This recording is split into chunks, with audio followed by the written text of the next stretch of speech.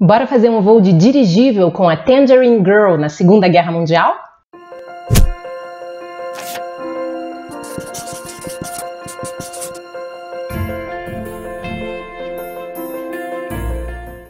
Bem-vindos! Eu sou Adriana Tourinho e esse é o programa Lugares na Literatura, onde a gente fala da ambientação em livros. Se você ainda não se inscreveu, não deixe de se inscrever para a gente poder trocar, ver os vídeos e conversar sobre livros e lugares bacanas. Hoje, então, a gente vai falar uh, de um conto que aparece nesse livro aqui fantástico. São os 100 melhores contos brasileiros do século, que saiu pela editora Objetiva e que é imperdível, só tem fera, bom para quem gosta de ler histórias curtas ou que não tem tempo de ler romances mais longos. E a gente vai ver o conto hoje uh, de uma das minhas autoras favoritas, a Raquel de Queiroz, uma pessoa aí que foi importantíssima para a literatura brasileira. Não foi à toa que ela foi a primeira mulher a entrar na Academia Brasileira de Letras, uma pessoa com uma prosa riquíssima, com temas super pertinentes. Se você ainda não leu, não perca. E esse conto que a gente vai falar hoje pode ser uma boa porta de entrada para a obra da Raquel de Queiroz, por ser curto e leve e muito bom, emblemático dessas coisas lindas que a Raquel consegue fazer. Então a história ela se passa nos anos 40, uh, ah, na cidade de Natal, no Nordeste brasileiro, na época em que uh, uma base aérea dos Estados Unidos se instalou na cidade, foram na realidade duas bases, para uh, servir de ponto de partida para os aviões americanos para a Segunda Guerra Mundial. E bom, conta a história de uma mocinha que ela fica deslumbrada com uh, um dirigível americano prateado, maravilhoso, que passava em cima do quintal dela. Então um dia ela estava sacudindo a toalha com as migalhas de pão e a, o homem que estava no dirigível achou que era um aceno. E ele fica até comovido, falando: Nossa, eu sempre passo em cima de casas e ninguém me dá a mínima, uma indiferença. E essa moça veio lá me fazer um gesto e ele quer retribuir e ele acaba pegando uma caneca, que era a única coisa que ele tinha lá no dirigível, e joga de presente para a menina. E aí se estabelece uma ligação e um namoro inusitado surge disso daí. Então, os dias tem esse encontro, ela vai para varanda, para o quintal, vê o dirigível passar e uh, recebe cada vez mais presentes diferentes. Aí já tem um planejamento, ela recebe revista Time, revista Life, presentes, pedaços de tecido.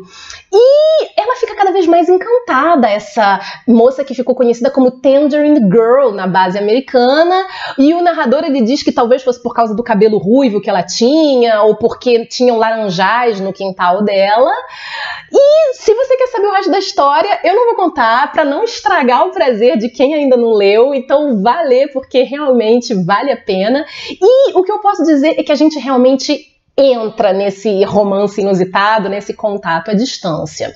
E o texto ele tem vários temas, como comunicação humana, romantismo, despertar de uma menina moça, mas sobretudo o imaginário, que numa situação de comunicação tão limitada, o imaginário vira o personagem principal da história, porque uh, eles se falam nessa distância, e então uh, ela vai passar a projetar naquela pessoa uh, o, as referências que ela tem uh, da cultura dos Estados Unidos, com cinema, revistas, e fica imaginando se ela encontrar com ele, o que, que ela vai dizer, ela vai procurar lá as aulas de inglês para poder se comunicar. E como a narrativa é feita na terceira pessoa, a gente também tem o outro lado, a gente tem o lado do marinheiro que também projeta na garota uh, o, as imagens que, que eles têm de moças sul-americanas E a gente vai acompanhando esse encontro com desencontro e uh, a gente realmente vê os dois pontos de vista. Agora, para entender o sentido profundo desse conto, a gente tem que conhecer o contexto da época, que, como eu disse, foi na Segunda Guerra Mundial. Então, uh, estamos aí no período em que a guerra permitiu que dois universos que nunca se encontrariam uh, passam a se encontrar por causa da presença dessa base americana ali. E apesar de limitado, uh, esse contato ele permite a fantasia, ela a, a, a participar daquele mundo estrangeiro que está entrando em Natal passa a ser uma necessidade e a fantasia tem ingredientes mais do que suficiente para construir uh, a, a, o que se passa na cabeça dos protagonistas. Mas a gente pensa como e por que uh, essa base militar foi parar lá em Natal. Bom, se você olhar bem a geografia ali do Nordeste brasileiro, a gente vê que Natal é a parte do continente que fica mais próximo da África. Então era um ponto estratégico que uh, foi a partir de um acordo estabelecido para fazer essas duas bases militares uh, do, dos Estados Unidos e que, inclusive, teve depois o apelido de trampolim da vitória, porque a partir dali eles podiam a decolar e foi um dos fatores que ajudaram aí na vitória na Segunda Guerra Mundial. E bom, vocês imaginam que isso virou uma cidade de cabeça para baixo, né, gente? Porque a gente tinha ali uma população de 55 mil habitantes, uma cidade pequena, que recebe cerca de 10 mil militares dos Estados Unidos. Era coisa de louco, era quase 20% da população. E o impacto foi enorme em diversos setores. Inicialmente a gente já tem aí o impacto econômico, porque teve que ter mão de de obra para construir a base aérea, então gerou serviços, restaurantes, teve que trazer gente para poder fazer toda essa movimentação. E além disso também gerou um impacto cultural irreversível na cidade porque ali você vai ter é, a, a, os americanos que chegam, as pessoas dos Estados Unidos, e que é a entrada da cultura dos Estados Unidos no Brasil. Então, a, a, a, protagonista, ela não quer chamar de dirigível, ela quer chamar de blimp, porque é uma palavra mais moderna, mais bonita, não é antiquado como dirigível, Zeppelin. Então, havia é, é, essa, essa entrada cultural. Os produtos americanos chegam com esses militares. Então, Natal foi a primeira cidade a ter Coca-Cola, goma de mascar, calça jeans, antes do que os outros lugares do, do Brasil, em um momento momento em que produtos importados eram muito difíceis de obter, além de serem muito caros também. Então, vocês imaginam um Fudúncio, que não foi aquela cidadezinha uh, recebendo aquilo tudo com obras e festas e bailes, porque se promovia isso para levantar a moral das tropas, afinal de contas era uma guerra, era uma guerra séria e triste.